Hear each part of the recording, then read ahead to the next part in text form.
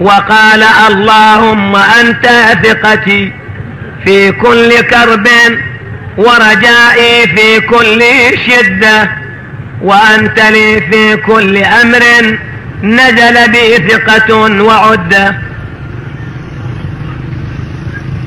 كم من هم يضعف فيه الفؤاد وتقل فيه الحيلة ويخذل فيه الصديق ويشمت فيه العدو أنزلته بك وشكوته إليك رغبة مني إليك عمن سواك فكشفته وفرجته فأنت ولي كل نعمة ومنتهى كل رغبة.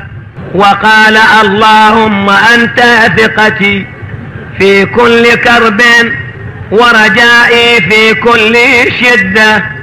وأنت لي في كل أمر نزل بي ثقة وعدة كم من هم يضعف فيه الفؤاد وتقل فيه الحيلة ويخذل فيه الصديق ويشمت فيه العدو. أنزلته بك وشكوته